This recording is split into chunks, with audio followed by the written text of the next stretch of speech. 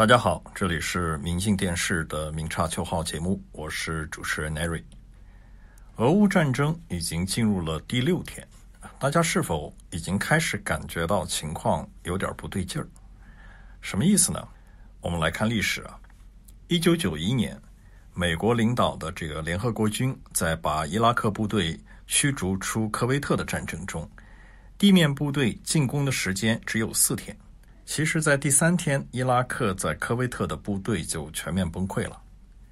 二零零三年的伊拉克战争开战七个小时之内，伊拉克的指挥系统就基本上瘫痪了。不到一天的时间，呃，巴格达都能听到爆炸声了。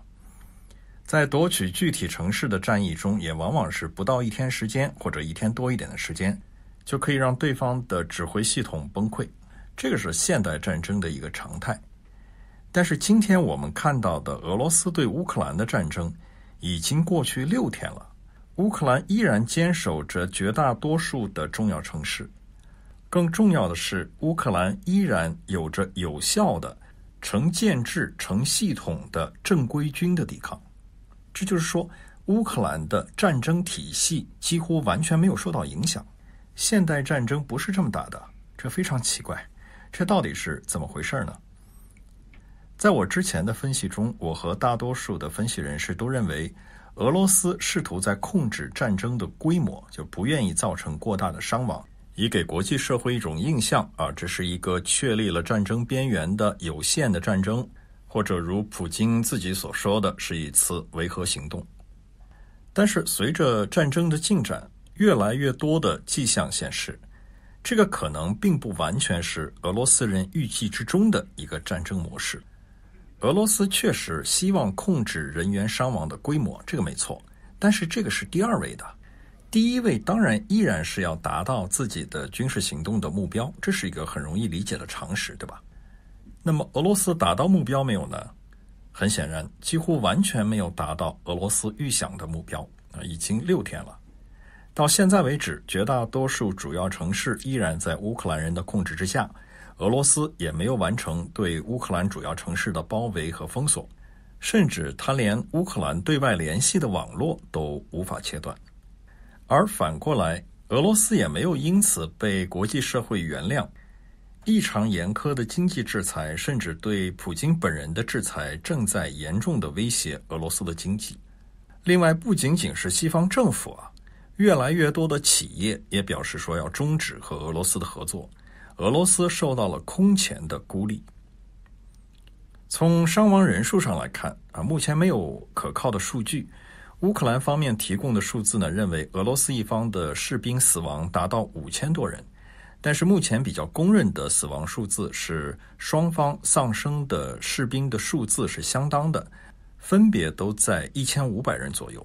啊，这个数字的估计呢，是来自于卫星照片。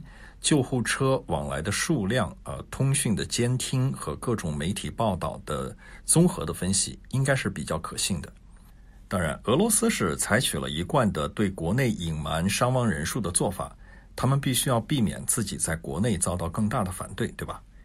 但是这还是显得相当的奇怪，因为俄罗斯如果是在刻意的避免大规模的战斗的话，那么你控制自己士兵的死亡人数，应该不是什么难事儿，对吧？所以目前，呃，越来越多的军事分析人士认识到，俄罗斯可能出现了两个主要的问题。第一个是它战略信息的错误。美国成立于二战期间的一个非常资深的情报分析机构叫海军分析中心 （CNA），他的一位资深的军事专家叫 Michael Kaufman，他表示说，他一开始也完全搞不清楚俄罗斯人到底想干什么。俄罗斯的军队似乎是在缺乏明确战略目标的闲逛。从卫星图片上来看，他们的目标是要打通从乌克兰西北部边境到基辅的通道，对吧？那么这个自然就要占领一路上关键的桥梁、要道、城镇。但是俄罗斯的军队的行动往往缺乏协调性和组织性，经常你会看到坦克和步兵是分离的。运输车队和坦克是分离的，有这些现象，这就使得俄军的后勤补给相当的混乱。那些单独行动的单位啊，单独行动的小分队就成了乌军袭击的好目标。这个看上去似乎俄国人是在没有完全计划好而很随意发动的一次进攻行动。但是我们知道，俄罗斯在乌克兰边境上陈列大军已经好几个月了，最早的部署是去年四月份就开始了。这么长的时间，怎么可能缺乏一个完整的军事行动的计划呢？考夫曼认为，只有一个解释，那就是俄罗斯完全误判了乌克兰国内的局势。最近，俄罗斯联邦安全局情报机构进行的战前的研究分析，这个资料被泄露给了英国专家。俄罗斯人的研究说，乌克兰人总体上对他们的领导层不满，并且对他们国家发展方向感到悲观。俄罗斯的入侵可以迅速的瓦解乌克兰政府的执行力，不会遇到太大的抵抗。这个是俄罗斯的战前的形势评估。瑞典国防大学战争研究系的教授叫 Henrik Paulson，他说：“俄罗斯人很有信心在四十八小时之内打到基辅，他们的大部分决定都是围绕这一点做出的，这是一个不现实的假设。”他接着说：“我们没有看到俄罗斯军队以任何系统的方式使用联合武力，什么意思？我想他说的意思就是没有看到系统性的协同作战，相反。”他们似乎选择在没有足够的协同或者后勤计划的情况下，派出孤立的部队，如侦察部队和伞兵部队。如果你认为你只会遇到象征性的抵抗，那么这是一个有意义的战术选择。但是到目前为止，情况并非如此。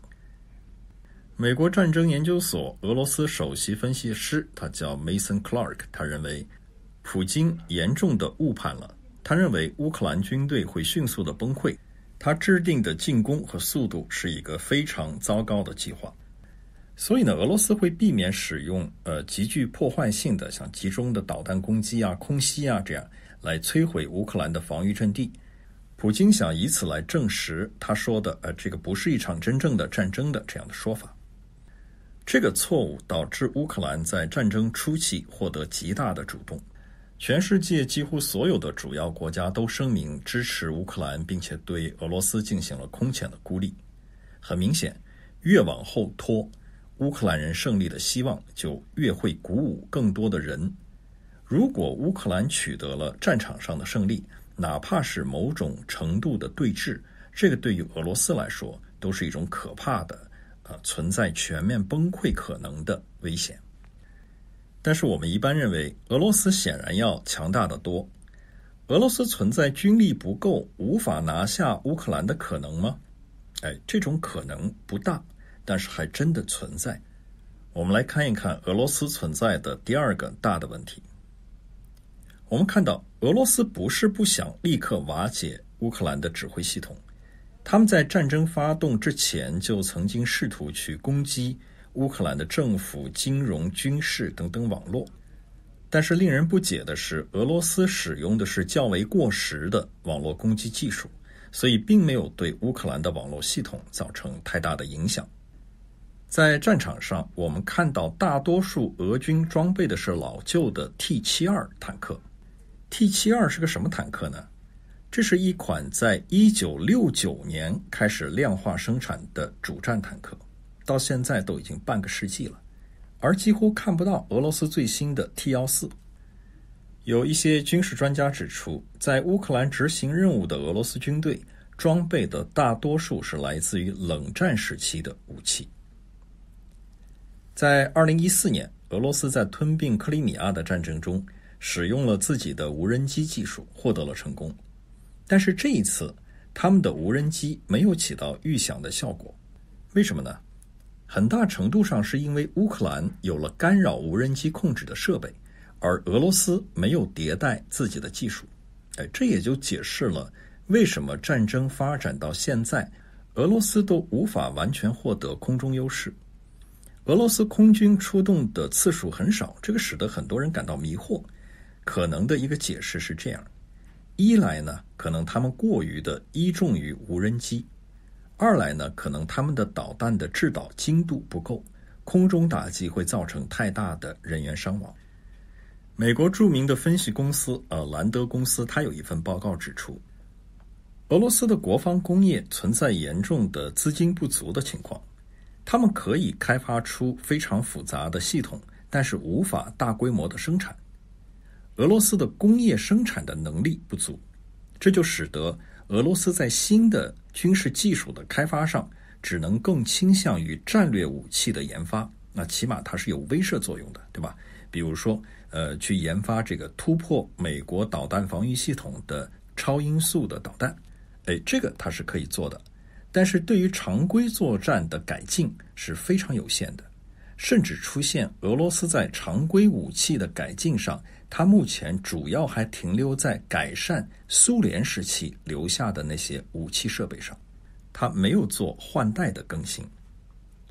但是虽然存在这两个重大的问题，但是俄罗斯的战略目标依然是要被达成的。所以，我们现在看到了俄罗斯加强了对乌克兰大城市的进攻，这个是一个危险的信号。